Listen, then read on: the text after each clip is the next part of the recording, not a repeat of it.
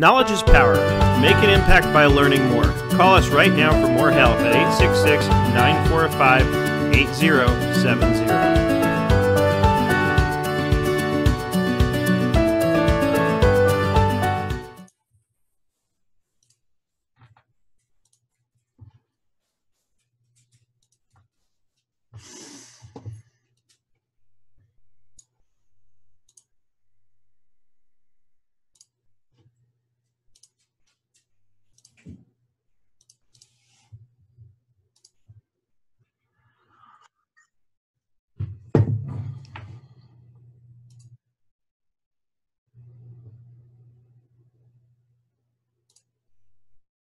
Hello.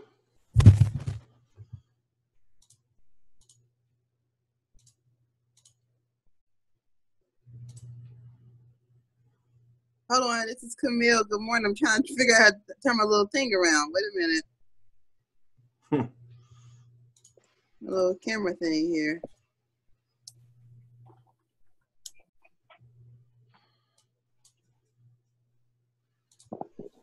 We got a lot of people to let in here today.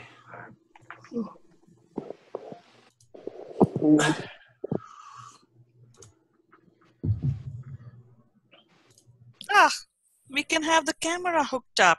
Let me show you my face. Oh, Morning, Dad. Good morning, everybody. I want to say I had a ton of fun last week with Ada. Awesome. That's good to hear. Yeah, it is great. Yep, I'm even going to bring her um, October 20th. She's going to come to uh, Small Business Accounting Associates. We're going to do it again. Oh, beautiful. Very, very good. Yeah, she's great. I was introduced to her by a mutual acquaintance and uh, brought her on, as you probably remember, a while back, and she was wonderful then. I love her energy. Yeah. She gets so excited. Yeah, She reminds me of me. Yeah. Hey, Gina, you are from Pennsylvania. I just found that out. oh, yes. Yes, Gita. Yes. I think we're from the same area. You're northeast, Yeah. How about you? Where are you exactly? um, in between Philadelphia and Lancaster. Oh, wow. Okay. We should get together sometime. Do you come down Bucks County?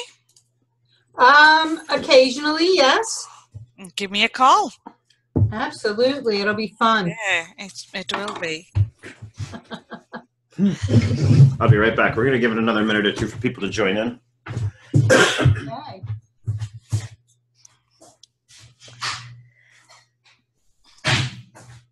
Gita, this is your first time joining us, I think, isn't it? Yes. Well, initially when you started, I started hanging out with on Google. Oh, you did? Okay. Yeah, and then I just uh, lost track of everything. You know. That was, yeah, that was a long time ago. Yeah, yeah, Jeff is very pouring his coffee. No, I'm actually pouring my my soda, my uh, LaCroix, LaCroix, lemon. This is like the best. It's zero calories, zero sugar, zero anything, but it actually tastes good. Nice. But I do have, I do have my coffee, my French press right here. That's for cup number two. We're working on cup number one. Is that LaCroix? Is that mineral water like Perrier? No, it's um, it's just lemons flavored, natural lemon flavored sparkling water. They have a lot of different flavors. I've just found lemon is the best. Well, I like lemon the best. I know that Perrier has green apple. That's pretty good. Yeah, I drink the Perrier lemon. I guess I have a thing for lemon. Mm. Hey, Jan. Laura is in the chat. She says, "Nice turnout." Yes, it is a nice turnout. That may be thanks in part to our, our friend Allison followed into it, who sent an email out to all the QuickBooks Connect speakers, letting them know about this week's topic. so we'll give it Little another minute. Or, timely. Yeah, well, yeah. Um, we'll give it another minute or two, and then I'll get started because I actually have a lot of ground to cover and only an hour to cover it in. Good morning. Jan is representing. Expensify today. Yep. you have a um, a webinar after this one, Jan? We do. We do. Um, Christy Monahan is going to talk about inexpensive apps to help everyone get mobile. Well, She did that at the sale. Nice. boot camp. Yeah, that's she said Yeah. she'd mentioned yesterday online that it's the same presentation essentially that she gave at Seattle Accounting Tech, which was great. So Yeah, yep. I'm excited. I think it's going to be a great one. Yep, especially the part where she mentions me. Of course. I kid, I kid.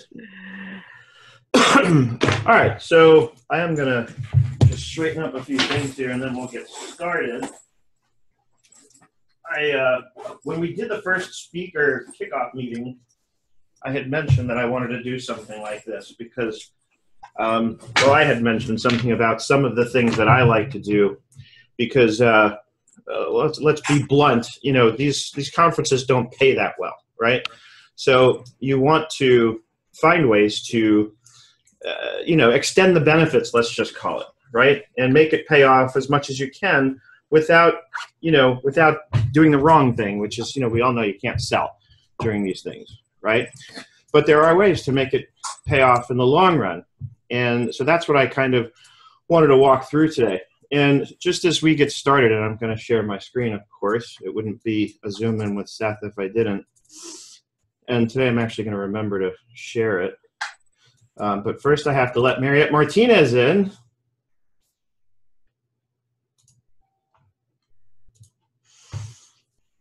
All right. So I have, uh, you know, drinking my own Kool Aid, as you're going to find out over the next hour. I have for today a detailed write up that will be available when the, today's recording goes up on my website, which will be tomorrow.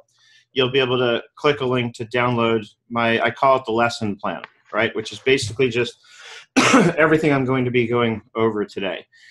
And, excuse me, ordinarily, I would uh, have tabs open ready for what I want to show you, but part of what I want to show you is how quickly you can get to things the way I've got them set up.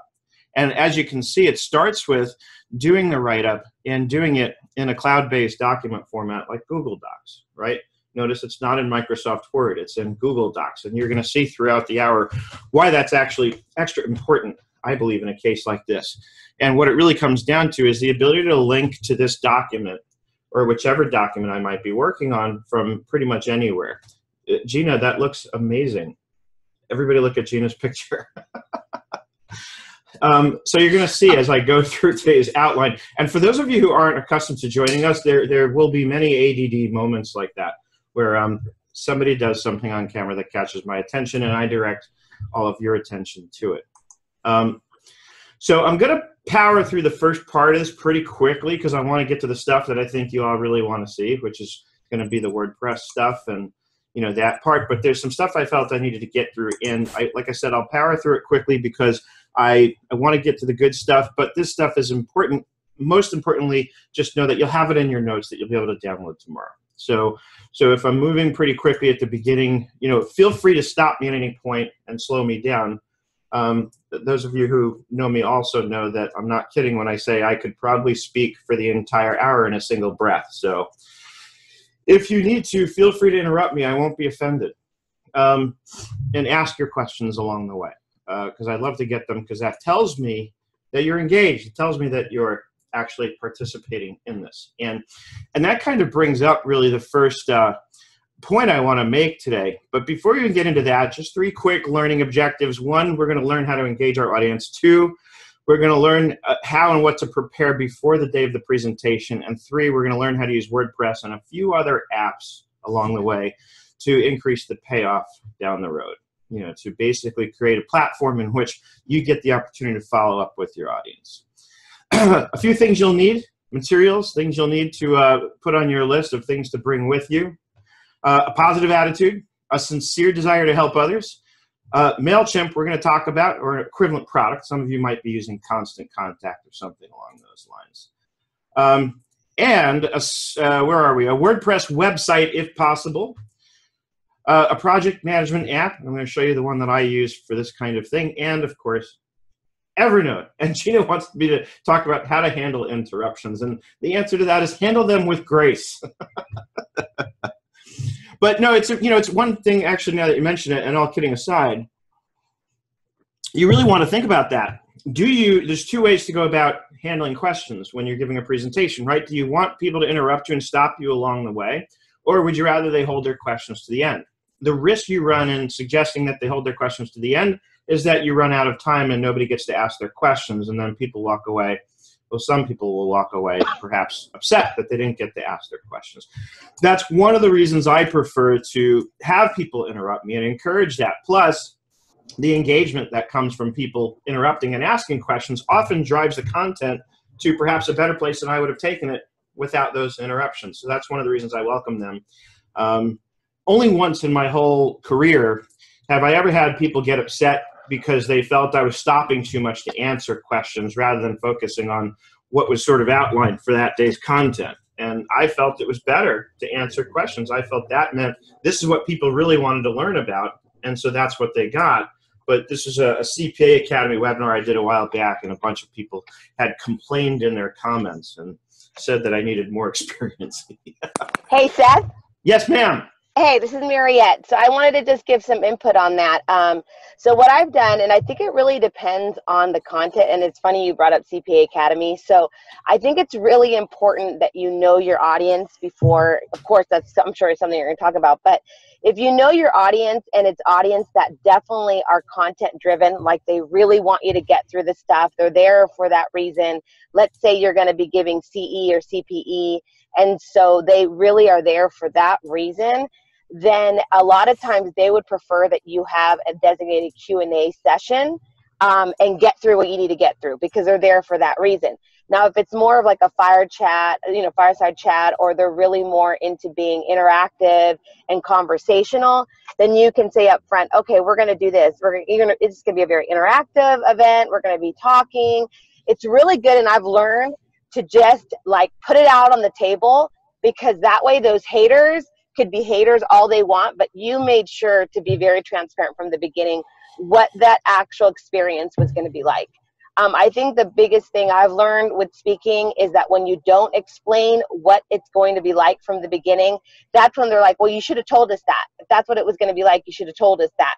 And so now I just explain what it's going to be like from the beginning. And then if they don't like it, then they can leave. I mean, Sure. that's just, that's just the way it's going to be. Sure, and there's a there's an important balance there. If you're going to take my approach, which again is to have it open to people asking questions throughout, you also want to be very aware of when the question that's being asked is something that's going to be covered later. A lot of times people will jump in because they're anxious and they're asking questions that get you ahead of yourself, which comes back to one of the other points I'm going to be making this morning, which ob- which is obvious. I mean, at the beginning, I'm going to cover some of the very obvious stuff, but sometimes it's the obvious stuff that that almost needs the most covering, if you will.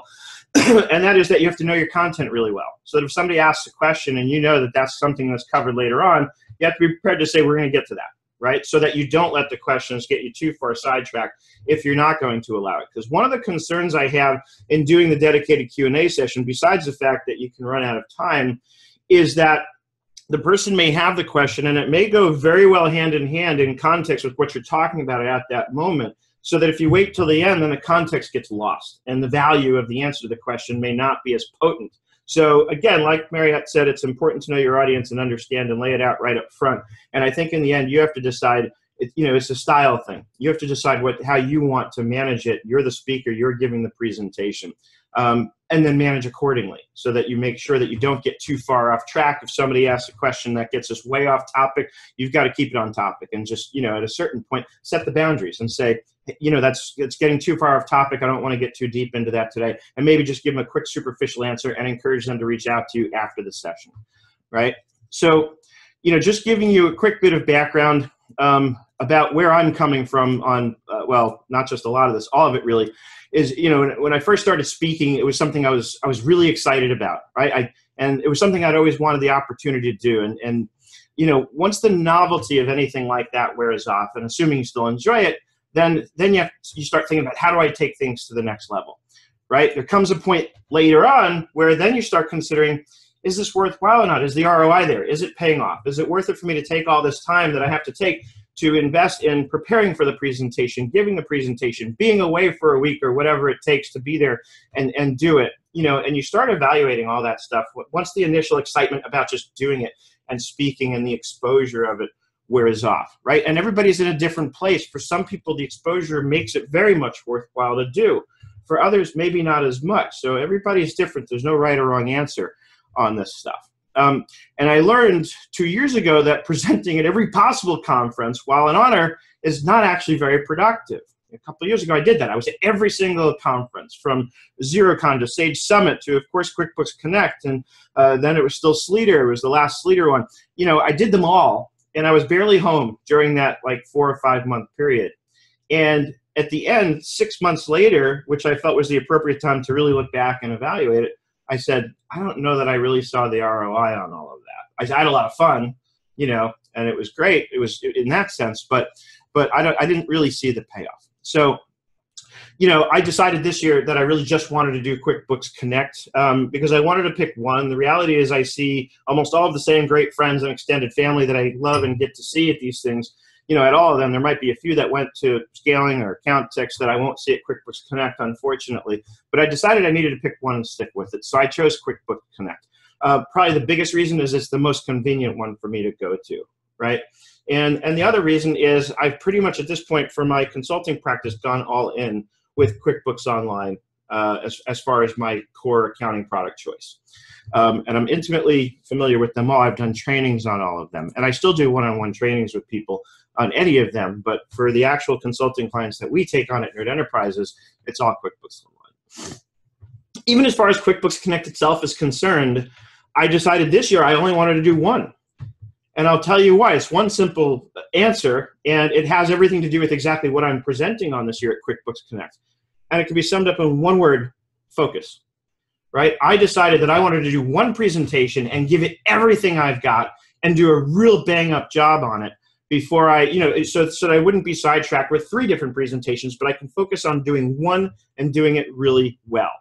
And isn't it funny how that's also a theme in terms of how a lot of us like to suggest running our businesses? Do one thing, the one thing you do better than anything else, and do it really well. So, so like I said, I decided I'd rather do one and absolutely knock it out of the park with what I did on that one. And you'll see today I'm already so much better prepared for this one that I'm doing this year than I've ever been in previous years. In previous years, the week before, I'm still wrapping things up with a lot of the stuff I'm doing for the presentations. And so it's already making a difference and paying off for me that I decided to take that more focused sort of approach on, you know, in terms of the presentations themselves.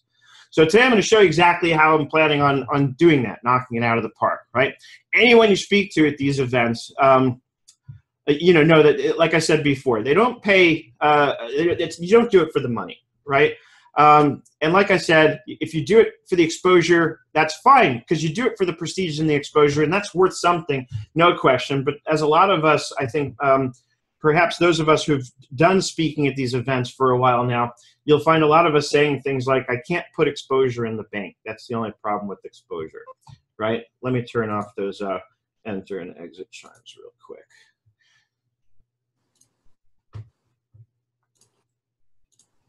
get those off. Seth, um, are you not doing Zoom Zoom streaming today to Facebook Live? I just oh, you know sure. what? Thank you so much for reminding me. Let me do that. Right. Actually, no. You know what? I'm not going to. Okay. Because this is. I'm going to put the recording up tomorrow. So. Um, let me just see something here.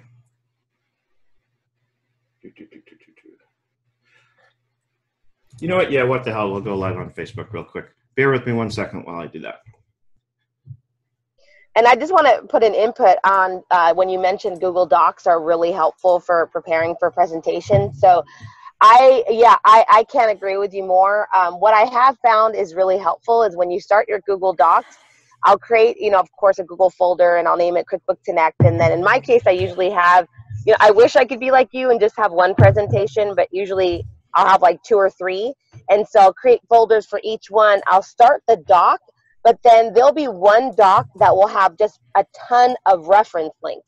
And so whenever I need to like get focused, I'll go into that doc and I can just reference like all the different materials that I have.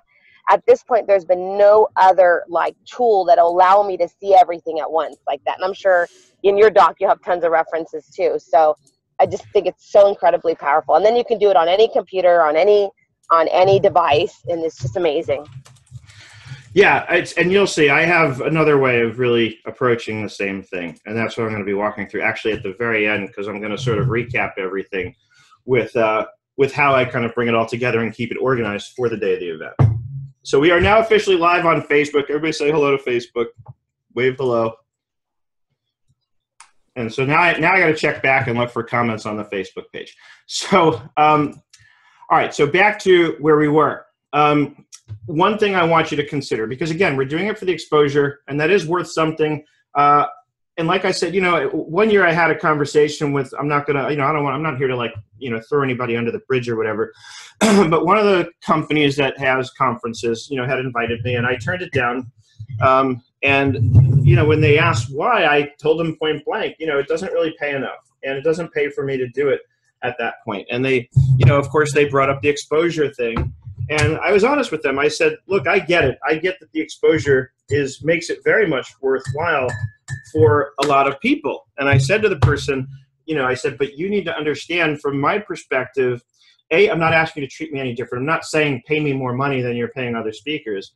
What I was trying to convey is that for me, the exposure at this point doesn't necessarily do it for me for one real simple reason. I have over, now over 12,000 subscribers on YouTube. Every time I upload one video to YouTube, 12,000 people get notified about it. No conference is going to give me anything comparable to that kind of exposure. The maximum attendees at these conferences is usually about a thousand people, and only a small portion of those are even going to be in my session, right? And maybe a little larger population is going to see my profile picture on the speaker page of the event. But the reality is, and this is my experience and my opinion, of course, and you're welcome to disagree, the exposure at this point for me doesn't do it. 10 years ago it did right? But today, not as much, right? I get much more bang for my buck uploading videos to YouTube today and then doing everything else I get to do with social media on that. So now consider this.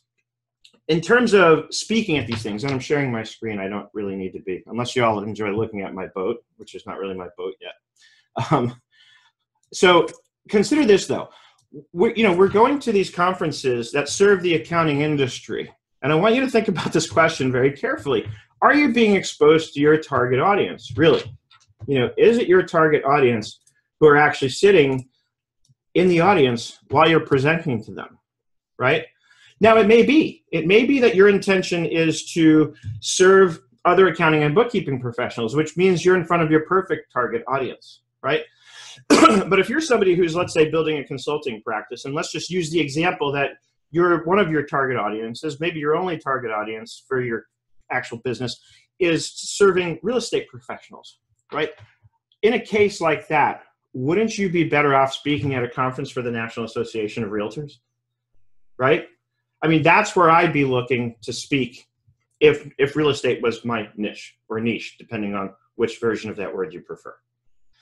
Um, so that's something I wanted to throw out there for you to think about. Now, what I did, because I found myself speaking at these conferences where the audience were other accounting and bookkeeping professionals, was I said to myself, okay, then I should probably start preparing materials and package things digitally for that would cater to accounting professionals, right? Because I, I should at least do something in my consulting business to serve the audience that I am getting that exposure to.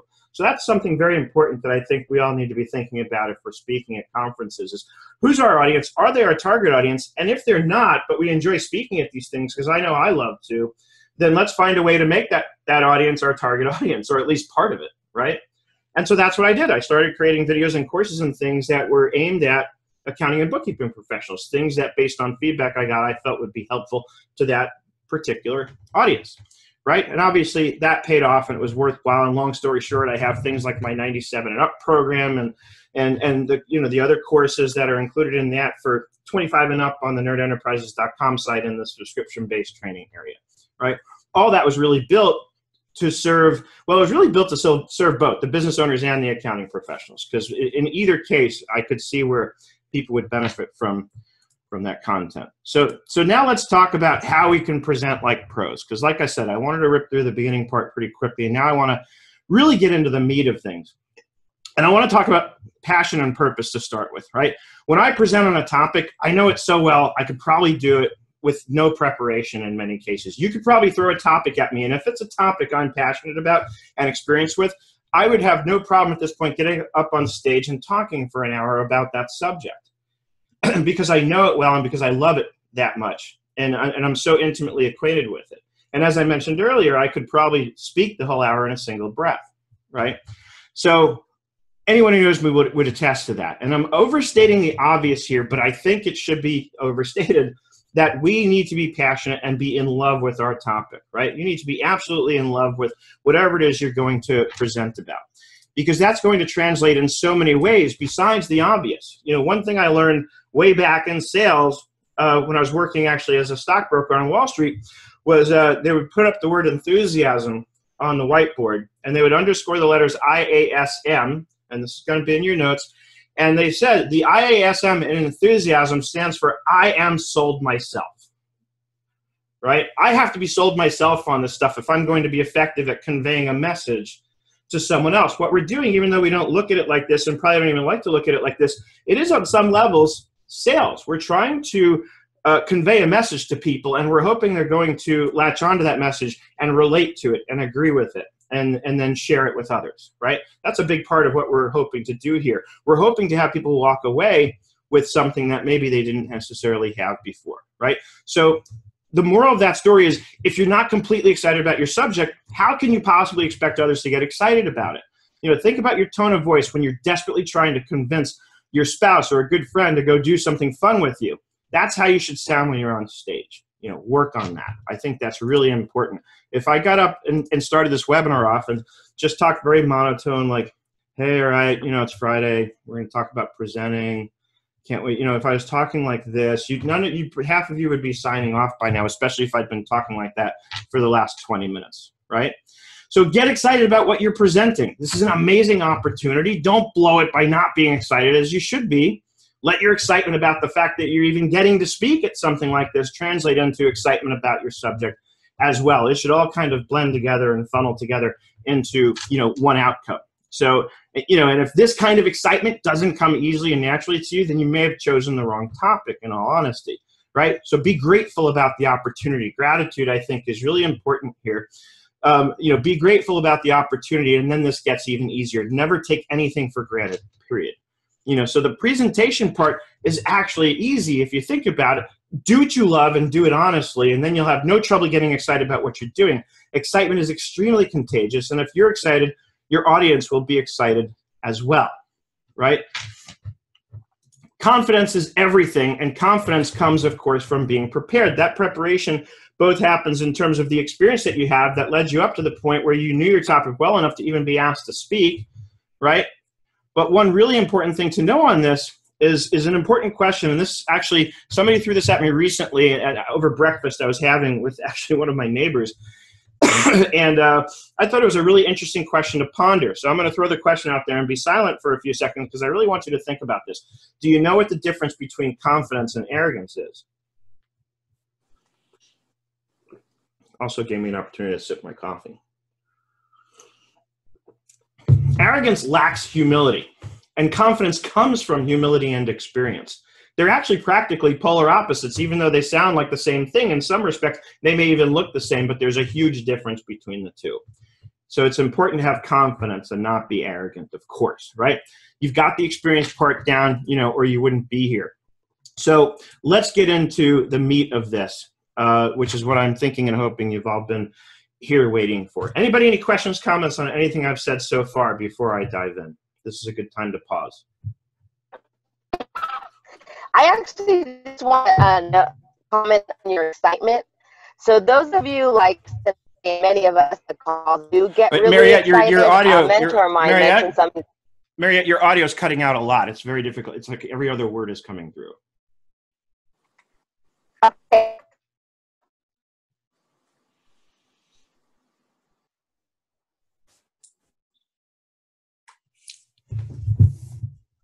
All right, so Mariette, if you if you're able to get that resolved, you know, come back, of course, please, and uh, and uh, you know, I'll give you the floor. Okay, and if nobody else has anything, then I will move on. Okay, so the first step is what I actually showed you about today's presentation right off the bat. Write it all out. And again, I strongly encourage you to use Google Docs for this, and you'll see why later on. We've already touched on it. Mariette also mentioned it. You know, uh, at the core, the ability to easily link to it from lots of different places, from any number of different places, is really what underlies all the reasons for using Google Docs and not Microsoft Word. And I'll touch on it real quick since I brought it up. You know, one of the differences if I write something in Microsoft Word, and then let's say I want it in my pro- my cloud-based project management app, I've got to upload that document if I want to make changes, I've got to download the document, make my edits, and then upload it again. And it's even that alone is enough friction to really slow me down. And, and if you're like me, you want to do things super fast. I don't want to waste any time. Every second is valuable. And so I want something that's good and efficient. So with a live Google Doc linked, you know, because Google Doc is a cloud-based document and I have it linked in another cloud-based app, I click on a link, I edit my document, that's it. And if I'm sharing it with somebody else for any reason, let's say I have a graphic designer that I want sharing it with because I want them to go in there and create images for me, any number of reasons I might want to share this stuff, it just makes it so much easier when I have everything truly and purely cloud based. You know, so so again, it serves two really important important purposes. Before I create the first PowerPoint slide, I write it all out as if I'm writing an ebook or a blog post or a white paper, whatever you call it. I have this detailed outline. And then you know, tomorrow, as I said, uh, when the video for the Zoom goes up, you know, so will my step one as a download for you be available, the very document I showed you when we first started. Now, first of all, this is a giveaway, and people love to have that. I'll often start by telling people there's no need to take notes. Better you should stay focused with me, and I'll have detailed notes for you to download, and you'll have the recording as well, right? Next, the act of writing this all out in and of itself gets your thoughts organized, right? Now you're ready to create your PowerPoint. You pull things out of what you've written and create your slides. And I know there's you know different approaches to how to create these slides. I am of the school of thought that I want simple slides with a few words on it that when the slide comes up, it triggers you know me to know what I want to talk about while that slide is up, and then and then I advance accordingly. And that goes back to really knowing your topic. And of course, you should practice before the day, and we'll talk about that a little later on, right? Excuse me. Um, step two: outline any other materials you can give away. Now I'm going to go back to sharing my screen because now we're going to now we're going to really get into it here. So one thing I've done is I use Evernote among other things. And I like Evernote because it's in the cloud essentially. It is a desktop app that's syncing to the cloud, but it's got the mobile app, which is really cool. So in Evernote, in my business notes, I have uh, a stack called events and speaking engagements. And within that, I have QuickBooks Connect 2017. Now you'll see as of right now, there's not a whole lot in here. Uh, you know, there doesn't need to be. I have a little, I always have like scrap notes where I just want to scribble stuff down if I have ideas, especially while I'm working on this one particular thing. But here is my materials package for QBC 2017. One is the time management and revenue goals template. That's actually a Google sheet that I'm going to be discussing and sharing during my presentation. The second is the very write-up that we've been talking about, the ebook or session notes or whatever you want to call it, a white paper, if you will, right? The next is tweets for the session. I'm going to talk about that, but you know everybody likes to tweet during your session at these events, and there's an official hashtag for the event.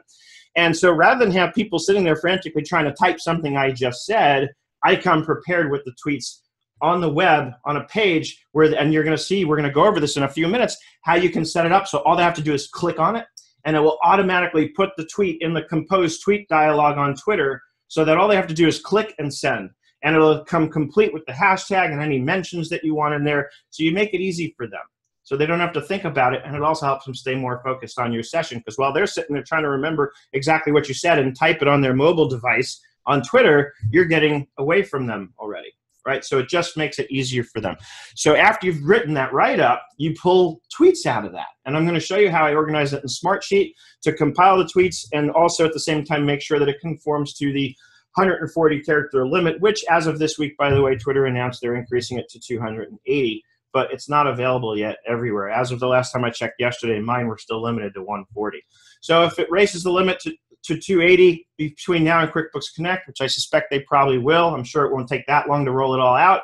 I still want to make sure I'm covered, and I'm going to keep it all under 140 for now, right? And you'll see I've already gotten all those tweets written because once I have that outline written, you know, that step one done, then it's easy to pull stuff out from there to do the PowerPoint and to do the tweets, right? the next thing I'm going to do, and we're going to show you this also, is we're going, I'm going to pre-record a video of my session, and that's going to be another giveaway. And then I also have something else I'm working on called 140 QBO tips, which really isn't necessarily an integral part of my session itself, but it's something I'm going to bring, you know, for QuickBooks Connect this year. And of course, during my session, I'm going to mention that you know it's something people will have access to, and I'm going to explain a little bit more than I will today about exactly what that is and how it works. Right. So that's step two. Outline any other stuff you can give away, and this helps. And as you can see, I've got check boxes so you can see which things are done and which things aren't. I haven't done my video yet, and the 140 QBO tips aren't all. I don't have 140 of them yet.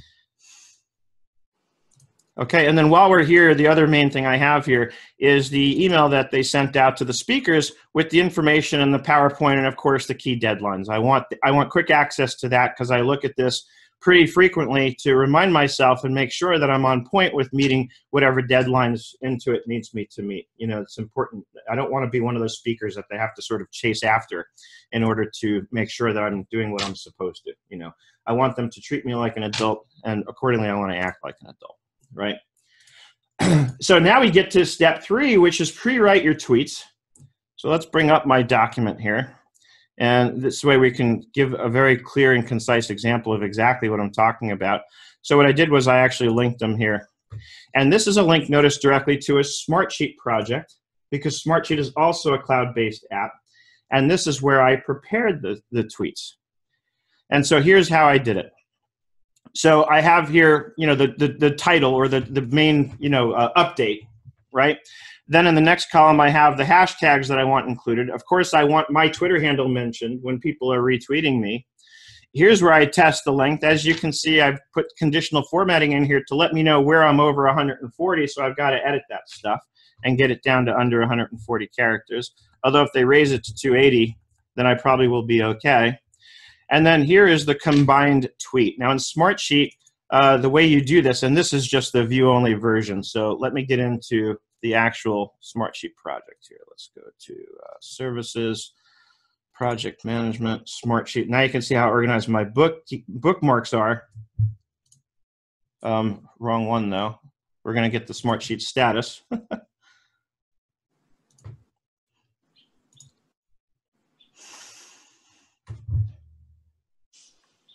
So here's the actual project, not the view-only version that you were just looking at. And over here, a lot of us, I, I, assume, know Excel pretty well, so we know the concatenate formula. Here it's much simpler than that. You just, you point to something and hit the plus sign to combine text strings, right? So really easy to write this Smartsheet equivalent of the concatenate formula. And so, of course, what this does is it compiles the pieces that I put here. And doing it like this makes it really easy for me to, you know, if I want to change something, if I want to use a different hashtag, or maybe the subject of that particular tweet is uh, something that involves another one of our brands or friends that I want to mention somebody else in there, it makes it really easy for me to update the different pieces of this and get the final result here. And then once we've got the final result, we're going to, when we get to the WordPress part in a little bit, I'm going to show you how we take this and get it onto a web page where, like I said earlier, somebody can just click or tap on it and instantly get a tweet composed so that all they have to do is click or tap and then hit send and it populates the tweet for them entirely. I'm seeing the chat go off, but honestly, if you could unmute and ask your questions, that would be much better because it's hard hey, for me to. Seth, I have a question about that because that's brilliant. First of all, mm-hmm. um, I mean, I always ask my my audience to tweet. Like I always tell them, "Let's tweet. I want you to tweet how awesome this event is and how you're so pumped." But if I can tell them that there's a tweet done and they just have to click on it, but are we asking them to go to our website to click on it to open? You'll see. Up? So so okay. this is an example of where you're getting ahead of me, but I'm going to show you how this all comes together. Okay. And I'm going to show it. you because there's a whole process here that gets us to that point. And rest assured for now, I'm going to show you by the end of this hour how they're going to be able to just give me their email address and then they're going to get redirected to a page that's got everything they need. Ah, and you get their email address that way. Brilliant. Exactly. Bingo. Awesome. Awesome. All right. So so for now, you know, you can use you can do this in Google Sheets or Excel too, but I like Smartsheet for this um, because it has some you know a little extra uh, power in terms of you know the project management capabilities that it has. You know, like if I do want to make notes about something in here, then of course I have the comments bubble, or if you know while I'm working on it, I can use Smartsheet alerts. There's a lot I can use in here that's not available in a spreadsheet, right? To help me manage this and put it together for the day of the event, right? So that's going to be, uh, you know, the step three is pre-write your session tweets, pull it out of your content. You know, and, and here in the notes, I've just expanded on pretty much what I've just said. People are going to want to quote you. This makes it much easier for them, right? Now, the next thing, step four, pre record a video of your presentation. You saw that already when I showed you the list of deliverables that I want to have. Camtasia makes this really easy. And assuming you've got your uh, presentation done in PowerPoint, which you have to because Intuit requires it be in their PowerPoint template, there's a Camtasia add on that goes with PowerPoint. If you open up PowerPoint, you should see that add on there. If you don't, and you've already installed Camtasia, it means you probably skipped it and told it no when you were installing Camtasia. So all you need to do, and the easiest thing, because I've tried this, the easiest thing to do is uninstall Camtasia and then reinstall it and look for that prompt. I promise you, if you have PowerPoint installed in your computer while you're installing Camtasia, it will prompt you during the installation process and ask you if you want that add-on to be put into PowerPoint. And once you've got that add-on in from within PowerPoint, you'll see the little uh, Camtasia add-on tab, and you can start recording your PowerPoint directly to Camtasia. So there's two reasons for this, um, really three, I guess. it's great practice, right? Uh, it's another thing to give away, and going back to the email addresses, Marriott, this would be the most compelling reason for people to give you their email address, is because you're going to give them a video of this session. Another reason they don't need to take notes and they can stay focused with you because you have a pre-recorded video that goes over everything you're about to go through in the next hour. One caveat, and we're going to get to this when we talk about MailChimp, they're not going to get it today. I don't want them distracted during my session with trying to download the video. So I tell them straight up when they give me their email address, and we're going to get to this in a few minutes, that all, all they're not going to get the video emailed them to them until tomorrow. And that can be configured in MailChimp, and I'm going to show you how right? So so they don't get the video till the next day because I want them focused here and now for while I'm giving the presentation. But it gives them that sort of comfort and peace of mind that I can tell them, hey, you're going to get the video tomorrow, guaranteed. And if for some reason somebody has trouble, just email me. You've now seen my website. You're going you know how to find me if you have any trouble, and I'll make sure that you get the video. But Seth, are you encouraging them to tweet during your session, or you don't Yes. want them to get? Oh, you are encouraging them to do that. Again, because I'm making it easy for them by giving them something they can just tap or click on. Right? got it. So now we get to the setting up MailChimp, right? So that's the first thing we want to do. Let's go into MailChimp. And again, if you have constant contact, that works too. MailChimp is just what I happen to choose. I used to use constant contact. I switched over to MailChimp. And I'm not going to walk through the entire setup process. I want to show you the highlights. Most of this, I know we're all pretty smart people here. So most of this you're going to be able to figure out, especially once you see what I'm showing you here. And of course, I, I say it and I mean it here, right here, right now. If you get stuck on anything or have trouble or need any help after this, you know, you know where to find me. I'm more than happy to help you all out. All right, so really from MailChimp to create the new list, we're just going to go here to lists. Okay, and here's my new list, QuickBooks Connect 2017. And all you do here is click Create List. And it, it warns you maybe you want to create a group. You know, instead of a list, that's a way of you. There's lots of ways MailChimp gives you to segment your main list into different, you know, based on different behaviors, based on people who open all of your emails versus those who open a smaller percentage. Lots of, and also geography. There's lots of different ways you can segment your list so you can send more targeted emails. Don't worry about all that. Just go create a list right? And create a blank list, and it's going to walk you through some important settings where the reply to goes. And the other important thing about products like MailChimp or Constant Contact is they're going to make sure that you're in compliance with the uh, CAN Spam Act, right? They're going to make sure that you your emails conform to the rules. You have to have your address on there, a physical address. You have to have your email. You have to have the unsubscribe link. It's all there right? And have fun with it, right? When you create the list, it's going to ask you to write a little blurb that explains to people who are on that list and getting an email why they got an email. And so you can say, hey, you're on this list because you were awesome and you attended my QuickBooks Connect conference in 2017. That's why you're getting an email. Feel free to unsubscribe. We hate spam too. You know, like don't go with the generic boring language. Stand out, be different, do something that gets people's attention, just like you should do when you're on stage and doing these kind of things, right? So we're going to create a list in MailChimp. I'm going to pull this off to my other screen so I can follow along without distracting you. Um, so once we've got MailChimp created, now we're really ready to get into WordPress, right? That's the main thing is we have to have the platform in place, the engine behind how we're going to gather the email address, and then offer them the materials that we want them to have during the session and anything that we want to be sending them subsequent to the session.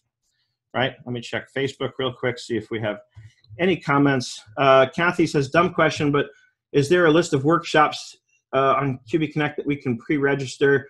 Uh, you can answer. I think if you go to the QuickBooks Connect site, it has the whole agenda. I'm not sure if you can specifically click and like register for a session. I believe they've done that in the past though. So the answer is probably yes, but I can't guarantee it. Uh, Sarah says, Gina, I'm on my way to the doctor, late hitting conflu. We flew to Louisville from, okay, that looks like it's a direct message from Sarah to Gina. so feel better, Sarah. Okay, good enough. So now I'm going to go into my main Nerd Enterprises site. And this is where we're going to really get into the meat of it. I know we only have 15 minutes left, but you'll see that's really all we needed. You know, and I wanted to give you all that background to get to lead up to this point. I felt it was important. So hopefully you'll have your sites done in WordPress. There's a lot of reasons for that.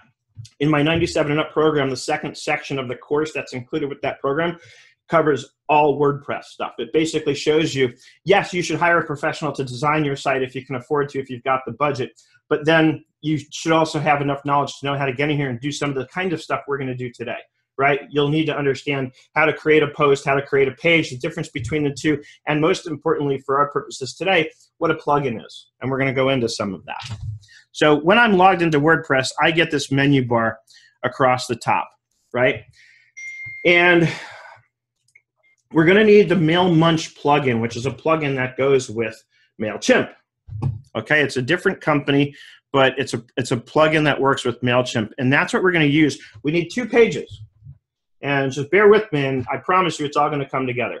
You're going to need a lead page, and a lead page is a page that's on your site that has zero navigation, because there's only one thing to do: give me your email address and hit submit. Right, that's a lead page, and it's important that there's no other navigation on the site because you know how we all are. We're ADD freaks, right? So if I have anything else to click on or anything else to do on that page, I'm going to start saying, oh, let me click here. What's that? Especially a site like mine that has a ton of things going on, right? So, so a lead page, it's very important from a sales and marketing standpoint. It's, it has one sole purpose to capture an email address. And how are you going to do that? Because you're giving something away in exchange for that email address. In today's case, the list of things that I mentioned, right? and you kind of you kind of get to hold your audience hostage during the day of your event because right then and there they're going to need to give you their email address to get the downloads even for the session the, the, the presentation materials right because that's another thing you can add to the list that i do mention later on in the outline is you can take your powerpoint once it's all done and save it as a pdf and make that pdf an available download a lot of people like to get the slides in my case, I feel like the slides are a waste of time because, like I said, they're usually just a few word phrases on each slide. So that's not really that useful to people. What I'm going to give them in the Google Doc, much more useful. So we're in the back end of WordPress. And if you don't already have the MailMunch plugin, you're going to go to plugins and you're going to go to add new. MailMunch. And I'm going to show you. I'll do the search for MailMunch so you can see exactly what the branding looks like so that there won't be any mistake about, you know, what to grab and whether or not it's the right thing. In regards to Kathy's question, Seth, um, the best option is uh, to download the Q, uh, the QuickBooks Connect app, and you can create your agenda on there, and you can move things around.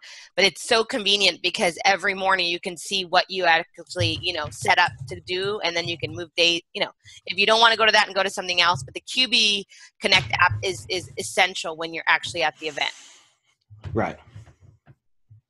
Okay, so notice there's two here that are very similar, right? And I believe I went with, you know, it's a good question. I don't remember which one I did. I think either one of these will work.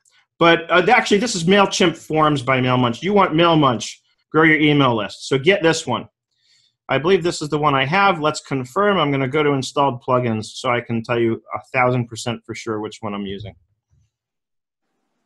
And the key here is MailMunch used to be just a way to create email capture forms on your website, but they added the lead pages like within the last few months. And I said, oh my God. And I said it just like that too. It's like, oh my God. So we want MailChimp forms by MailMunch, actually. So I believe that was actually the, the second one. Right, let's back up. That's priceless to get a Seth geek out moment. Oh my God. oh my God. Oh my God. MailChimp forms by MailMunch. That's what you want. Now, once you have that, you'll see this menu that just says MailChimp. And notice you have three choices forms, landing pages, and settings, right? So we want to create a landing page. Landing page, lead page, basically the same thing. Not even basically, they are the same thing, different words. Tomato, tomato. Now, what's going to happen, and you're probably wondering, okay, great, so I create this lead page or landing page, but how is it going to connect to my MailChimp account? And I'm going to show you that there's a part, and you'll only need to do this once when you're creating your first form or landing page. So here, it actually what it does is, and here's where one of the two pages comes in. Don't create the pages in WordPress until you set up your lead page, because your lead page, when you're creating it with MailMunch, is going to ask you what page you want to use or create for the purposes of the lead page. So notice mine is going to be forward slash QBC 2017, right? And you can go there now and you'll see the page, right? And I'm going to show it to you, but don't go there now because stay, you know, stay focused with me on this. When I go to edit the page,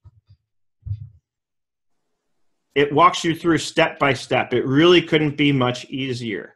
Now you'll notice that I have mine in my greens and blues. And the way that I did that, and this is important, when I had my site designed, and Shane McFarland, who designed my site this time, um, you know, helped me come up with the branding that had to do with one of my logos that I've been using over the years. I got the hex codes that let me figure out exactly which color green and which color of blue to use. So if somebody else has designed your site or helped you create your branding, you'll want to make sure you've got those hex codes. And guess where I have my hex codes stored? In Evernote. Thank you. Who said that? You get a gold star. Laura, because mine are in Evernote too. Laura, you win. You win a free video. So, and you're getting a video, and you're getting a video. So, Look at a video. those hex codes will save the day. As you walk through this process, you'll see where you have the opportunity. You can click on a section, and here's background color. And what I did was rather than play around with this, I actually pasted my hex code right in here. You can see it there. The only stumbling block I had, particularly here, is that usually the hex code has a, a, little hashtag in front of it. In this case, they don't want the hashtag. I was pasting it in with the hashtag, and it was coming out with the wrong color, and then I noticed they, it was removing the hashtag and screwing it all up. So, so in this particular case, you paste it without the hashtag, but normally you want to paste the whole hex code in.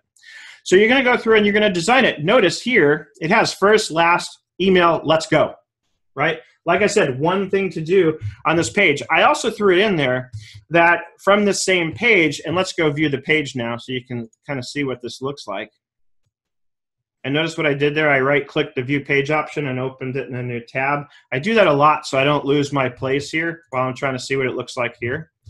It's a little bit garbled because of the uh, the WordPress login header. It won't look like that on a user's browser. This is just because I'm logged into WordPress. But notice there's no navigation right? Normally on any page on my site, there'd be a ton of things to click on. And here it is, like I said, first, last, email, let's go. And so they're gonna, I'm gonna give them this page when I start the presentation. I'm gonna say, go to nerdenterprises.com slash QBC 2017. It's, you wanna make it really easy. You don't wanna have this long URL. My domain name is long enough as it is, but most people can figure that out pretty well. And then I have here where they could actually click on to grab the template. But I'm also going to tell them, don't worry, because once you give me your email, you're going to get redirected to a page that's got the template linked on it, right? And so that's page number two, is the page that they're going to get redirected to. And so I'm not going to get into too much depth here in terms of design. You can play with this on your own, and you should play with this on your own and, and learn how to use this kind of stuff because it's going to help you not just here, but any other time you're doing some kind of a presentation, right? Hey, Seth, I have a question. Sure.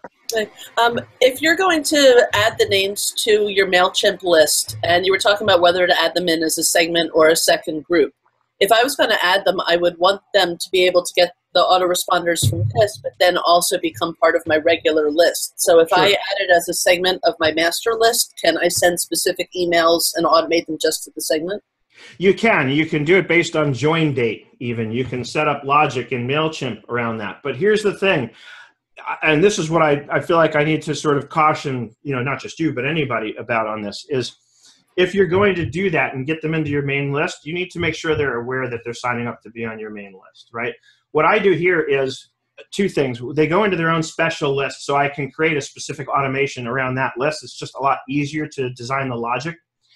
Um, and then what I can do is two things. I can actually, MailChimp makes it easy. I can actually click that on my main list and merge them.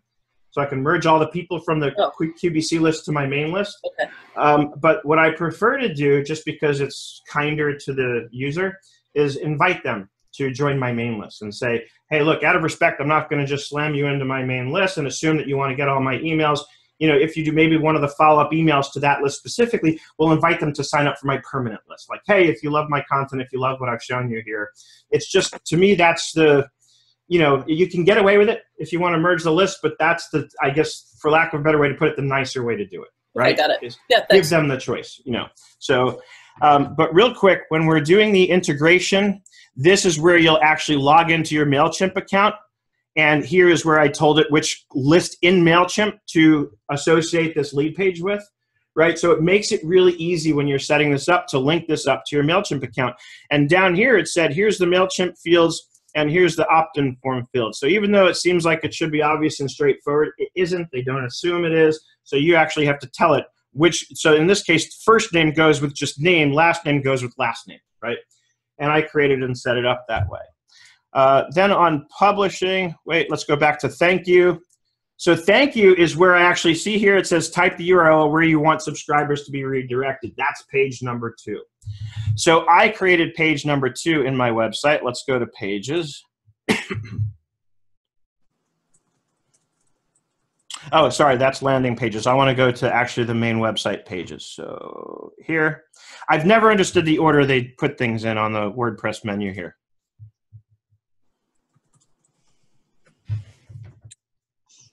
Okay, so my second page.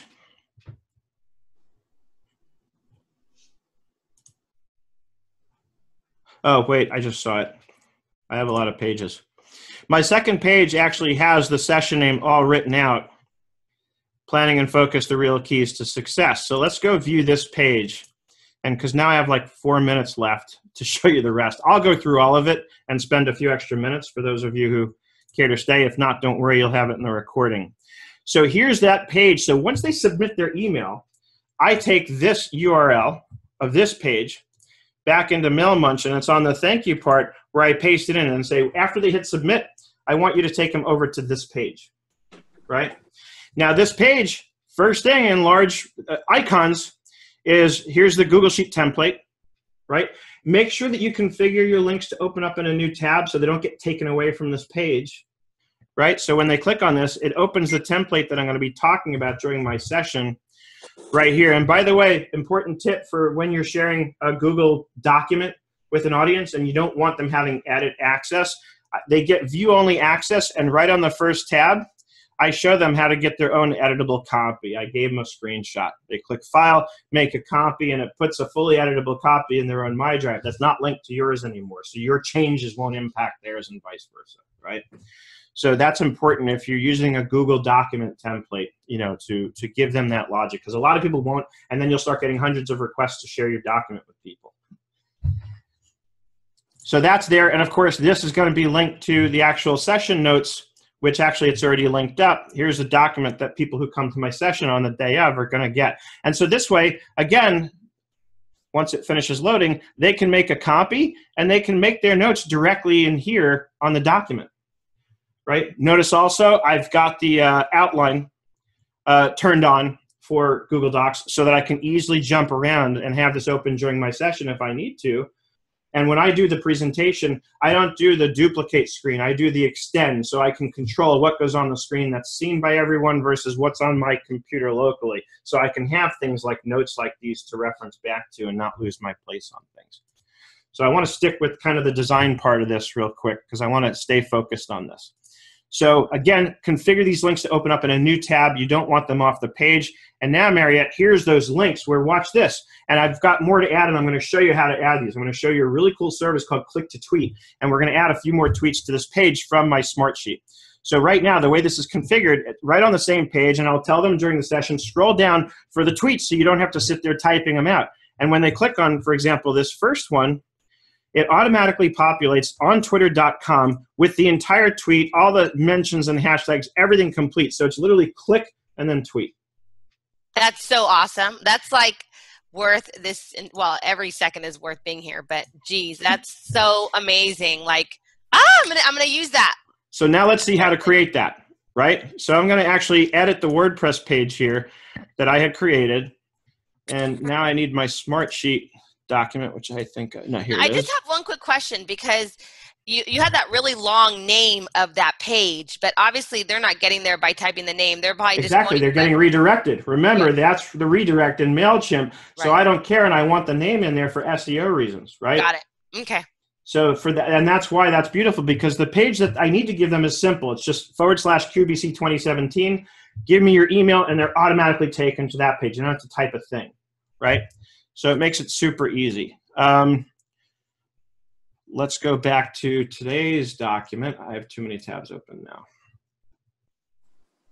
What creates an outline in, in Google Docs? Like what automatically creates that outline format? It's in Tools. So first of all, in Tools, you turn on Document Outline. Ah, Second, okay. then from there, it has to do with the formatting. So the problem here is formatted with heading two. So heading two makes a bigger, you know, um, um, Right. header in the outline.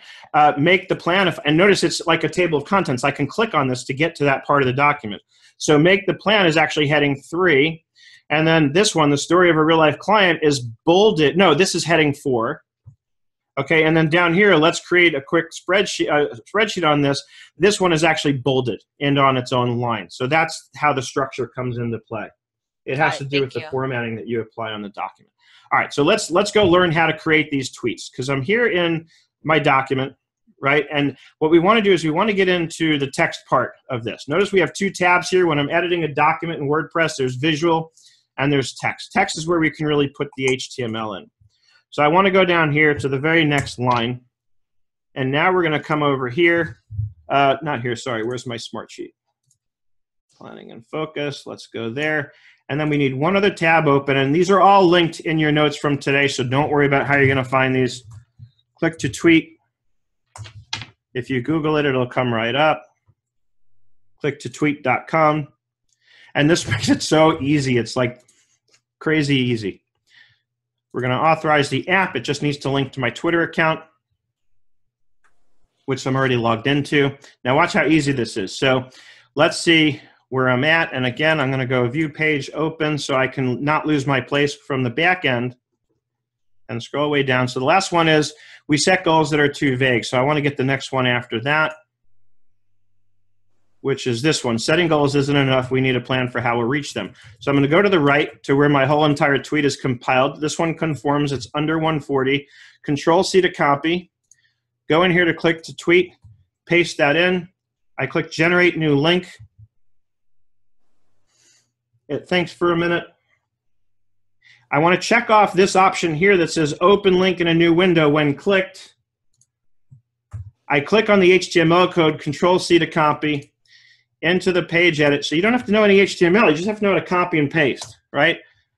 Enter to the next line, paste it in, go back to the visual tab. I can see that it showed up properly right there. Setting goals isn't enough, right? Update,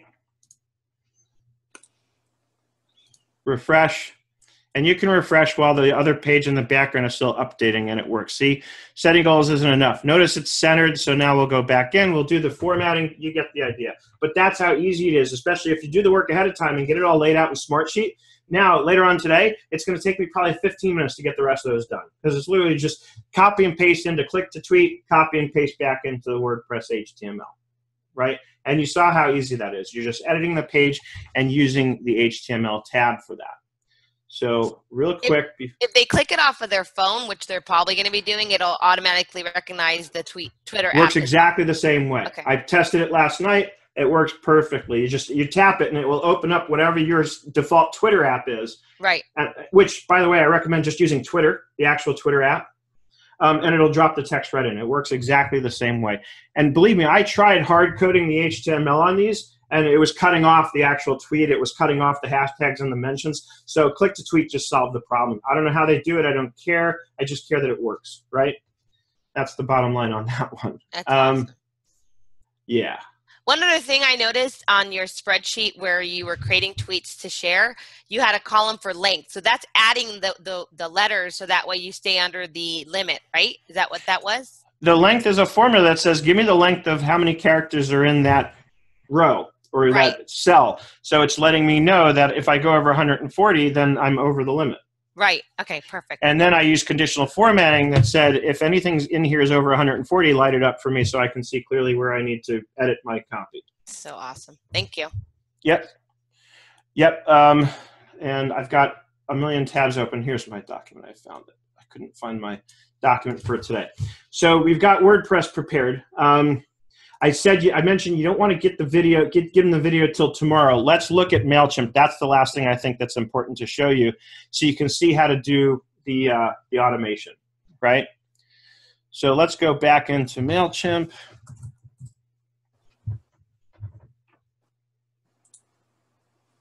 I will log in.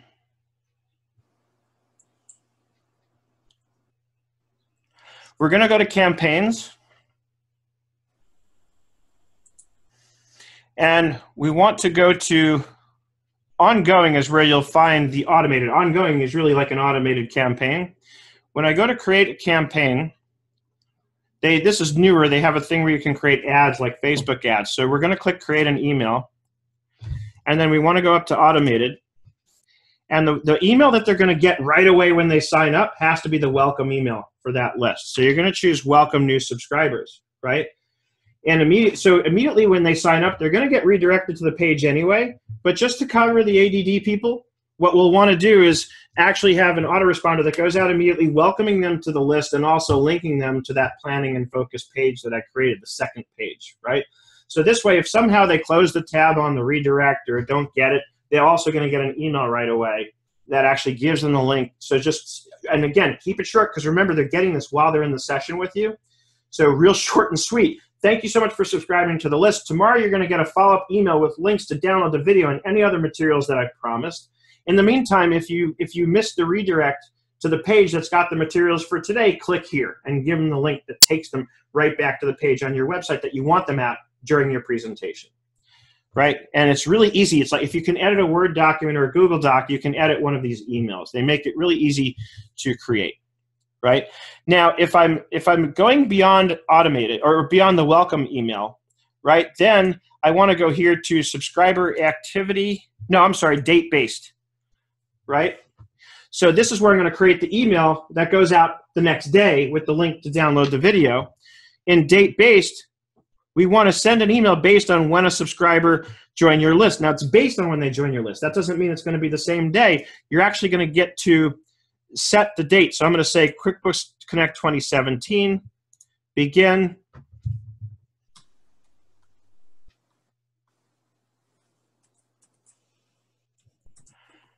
And here's the welcome email. And here's actually, I've already started to create them. So here's email, and notice the trigger, it says two days after the subscribers joined your list, right? So I want to change that to one day after. So we're going to edit the trigger. And actually, it says wait one day after. And then we're going to say update trigger. So I don't know why it said two originally. Oh, because this one is one day after. So this says welcome to the newsletter. And so it won't let you to do two different emails at the same proximity to when they joined. So since I said one day for both of them, it automatically just put this to the next available day.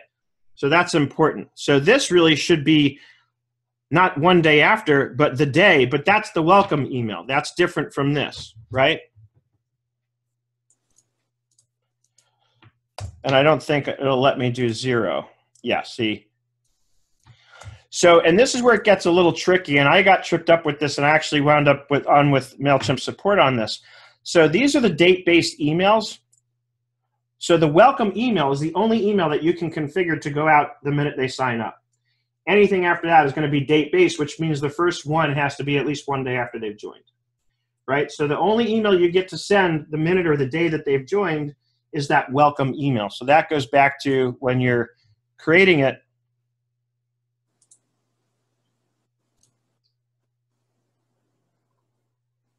And notice here's, uh, that's for 2016. So let me quickly create the campaign I'm going to use. For 2017. So QBC 2017. This is going to be automated. I should have done that first. Uh, QBC 2017. Select the list, QuickBooks Connect 2017, begin.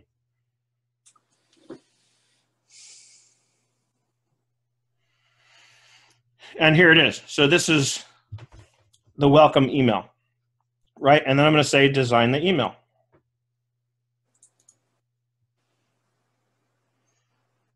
So you'll choose the email subject. You can write preview text. That's what shows up in the headers when it drops into their inbox. You know, who's it from, the email address, and then I'd say next. And you can go back and edit this stuff later. QBC 2017.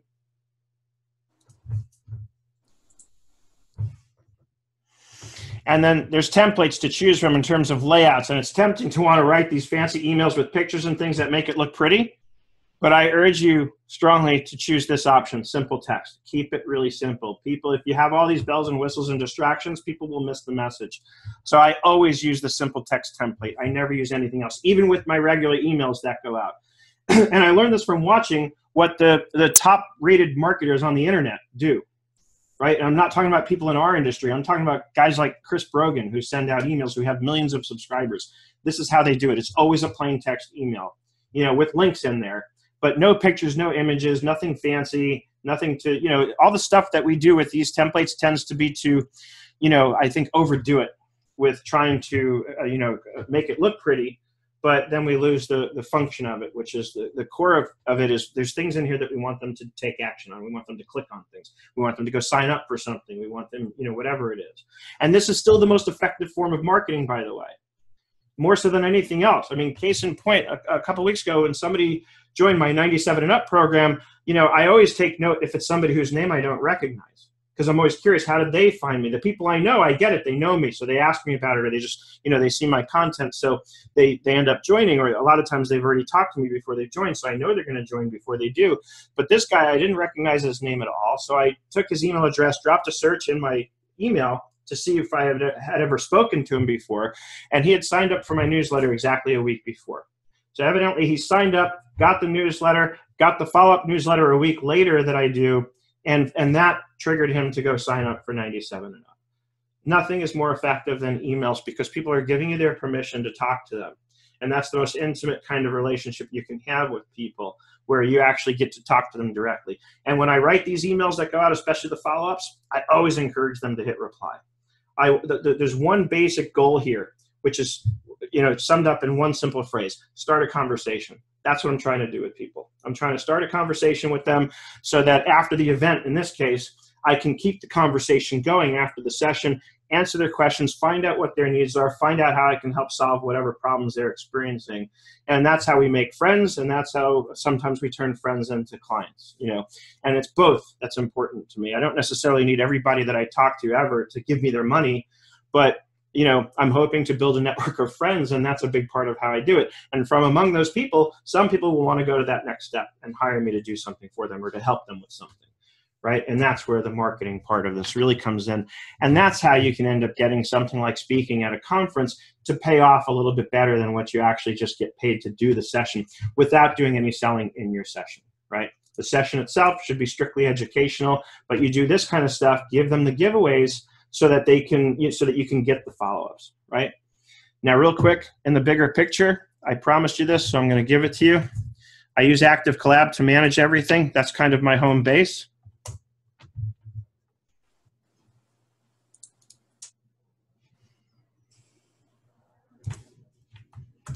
Control k quickbooks 2017 notice here I have a, a list for my presentations. Second sec, session document. Click. I'm in my document in two seconds. So Active Collab, the project that I've created for QuickBooks Connect 2017. This is Command Central. This is where I have everything I need to know about the project, right? My travel arrangements. Again, here's my planning template. I also have it linked here, just so that this is the one place I know I can go to for sure. And this goes back to what Mariette was talking about at the very beginning where she has a document with all the links. I put my links here. Now, Seth, why do you use this as opposed to Evernote? Um, because this is this is more of a project management solution, whereas Evernote's more of a digital notebook. I could totally use Evernote for this if I wanted to. There's no reason I couldn't. But as I've evolved with this stuff, and because I use so many tools, I've gotten more and more specific about Active Collab is a project management tool. I'm going to use it to manage projects. Evernote's a digital notebook. I'm going to use it for detailed notes and things, right? Just the same, I could have taken what I've done in Evernote here and put it into Active Collab. But here's the key distinction uh, emails render better. I can forward emails to Active Collab, but the formatting renders better in Evernote, Mhm. right? And if I want to, I can actually take any of these notes, right? And I can generate a share link and paste that into Active Collab. So even though it maybe looks like I'm separating things and everything's detached, the reality is I can connect it all myself and create my own ecosystem that works for me, right? So if you're somebody who feels overwhelmed because of all these apps, then by all means do it all in Evernote or do it all in Active. There's no need to have it broken out like this. This is just a reflection of how my mind works. My mind compartmentalizes things, and I, in my mind, Active Collab is perfect for these things, and Evernote is perfect for these other things. But there's no reason you couldn't absolutely do it all in one or the other. Really? Like 30 days left? All right, any questions? Everybody's asleep? Um, oh, I, I just have one. With the, the tweets that you're asking people to tweet, at which point I kind of got lost in your progression of pages. Um, do they have to? Is that after they fill in their email address that that li- that landing page has the tweets? Yeah, so the landing page, remember, one thing on the landing page is to give me your email address. Then they get redirected to that page that has all the materials for the session, including the tweets. Okay, but so they're going to do that during your workshop. Yeah, so during the workshop, the idea is I'm going to tell them keep that tab open, right? First of all, it's got the links to the templates that you're going to need for the session and the links to the notes for the session. And then I'll tell them scroll down below that, and that's where you have the tweets. So I, you know, I'll tell them, look, I've saved you the trouble. You can just click on any of these tweets and tweet them out there during the session. That's a cool Right. I've made it easy for you. By the way, one other thing I did since you brought up that page, let me bring that up. I know that my particular target audience at QuickBooks Connect is likely going to be interested in these programs here. So I've included a pricing table at the bottom of that very page so that as they scroll down, eventually they're going to see this. You know, my hope is that somebody in the process might get interested and click buy now, right? So again, I'm not selling in the session, but I've got it, it's sort of a back-ended kind of sale and saying, hey, if you like what you see, then I have programs for you that'll work. All right, any other questions before we go? Make sure you unmute. Great, great, great presentation. I really learned a lot. I don't use WordPress per se, but I I use Squarespace. But I did like how you um, use the the smart sheets to count the characters, and then you um, put those on the website. So make it using the, the click to tweet, so people just click that and tweet it out um, and be engaged and, and while you're speaking. So that was really, really genius. Um, Thank you. you do that. Yeah, you're welcome. I, I really, I'm really impressed with that. Thank you very much. So yeah, there's two I think keys to all this that I came up with uh, after doing this for a number of years. One was I used to collect business cards, and I'd say if you want the notes, give me your business card. But now I had a lot of work to do. I had to actually take those business cards home and type in all their email addresses and get them into Mailchimp manually. So I said, this is stupid because I can just give them the form and collect their emails, you know, and have each individual enter their own email and then automate the whole thing. So that was perfect for me. And then the tweet thing also kind of came along on the heels of that because I said, what else can I automate here? And I know that when I'm sitting in somebody's session, I'm often frantically typing, trying to remember what they said and get it typed up before I forget so I can tweet it out there, you know, because I love doing that kind of stuff. So then I thought this would make it so much easier for people. So thanks, Camille. Barbara, did you want to ask something? Yeah, I have a question. Um, I a lot of this is really new to me. All these um, tools that you're using. So, like, I even when like I'm like, okay, Google Docs. Like, I've always just done everything on PowerPoint and, um, and stuff like that. So when it, so I'm on my other screen, I'm looking at Google Docs. It's like it doesn't even want to download onto my computer. So, Well, Google Docs won't download. Remember, it just runs in your browser. So it's just a matter of opening up a browser and logging into a Google or Gmail account. oh, okay. that's all Google Docs is. It's nothing to download. But in your notes from today, it'll be up on the site tomorrow. I have links to everything, um, including Okay. you know Google. But that's all Google Docs is. And uh, Okay, when I went to Google Docs, it said download Google Docs like an app, and it's like, it doesn't do that. So, no, no, it's Google Docs is just a browser-based suite of Office applications, and it's also Ah. where you get Gmail. If you have a Gmail account and you log into Gmail, you're already plugged into that whole world. You you may not know it, but you are. there you go. I didn't know that. Thank you. Perfect. You're welcome. And so, as always, if you all need to follow up with me on anything, you have any questions, you know where to reach me. Um, Jackie, sorry, I just saw you at the last minute there as the, one of the attendees, so I brought you in here. Um, uh, but it, you'll get a follow up email tomorrow also with a link for some information. And like I said, it'll be up on my website um, over at, if I go to the home page, just go into uh, podcasts in my menu navigation and you'll see Zoom in with Seth David, and that's where you'll find the uh, link and post for today's session up here.